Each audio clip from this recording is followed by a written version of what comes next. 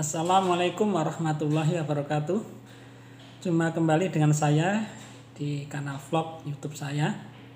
Kali ini saya ingin mengetengahkan tema yang berjudul YouTuber nakal. Semoga Anda semuanya sehat, sukses, dan lancar semuanya. Amin.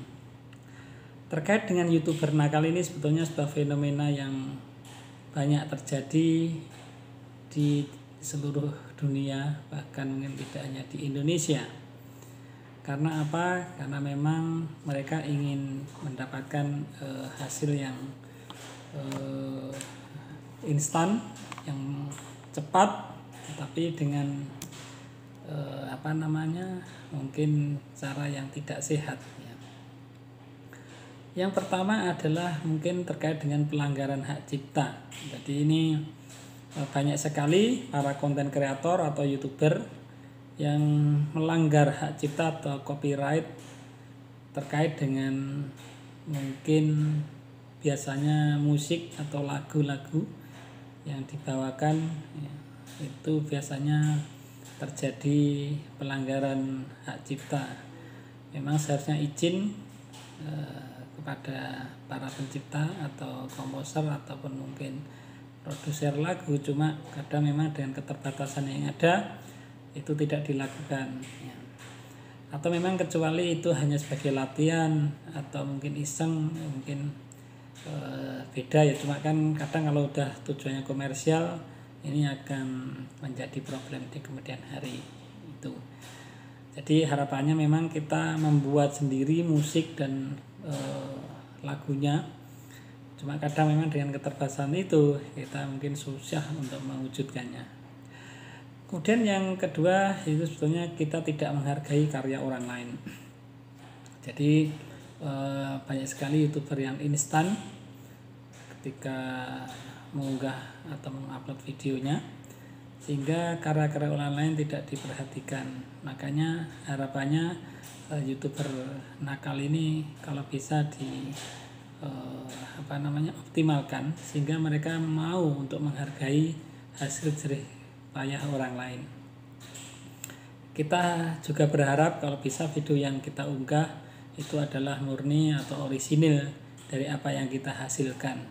Jadi mungkin eh, ke depannya walaupun itu videonya jelek, kualitasnya buruk, tetapi itu adalah original murni dari kita apa salahnya kita unggah ke kanal YouTube kita itu jadi eh, kita berharap kita mampu untuk berkarya ataupun berproduksi konten tersendiri.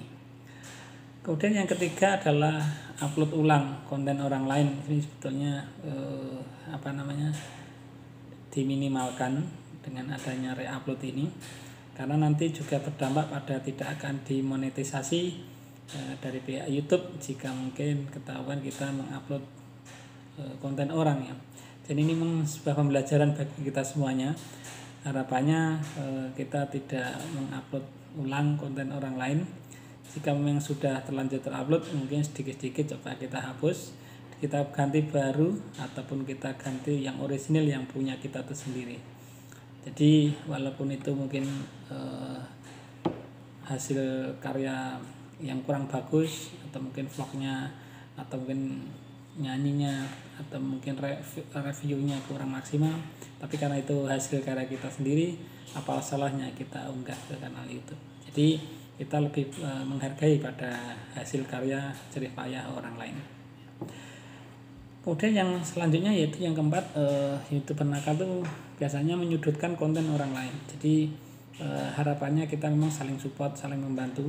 Tapi kalau sudah menjurus atau menyudutkan konten orang lain ini memang sangat berbahaya jadi karena ini ini akan berdampak pada stigma negatif dari konten yang akan kita unggah ataupun kanal YouTube kita jadi uh, dengan mensupport kanal orang lain kita juga ini uh, ikut mensupport karya orang lain. Tetapi kalau kita sudah menyudutkan karya orang lain atau kanal orang lain, maka kita juga ikut merasakan dampaknya. Jadi harapannya kita juga saling support ya, tidak menyudutkan atau membuat e, kanal orang lain itu menjadi susah atau mungkin karena orang lain itu menjadi hilang atau mungkin karena orang lain akhirnya eh, redup. Jadi itu kita harus hindari. Jadi kalau bisa memang eh, kita harapannya semuanya saling bahu membahu saling support saling membantu demi kesuksesan kita bersama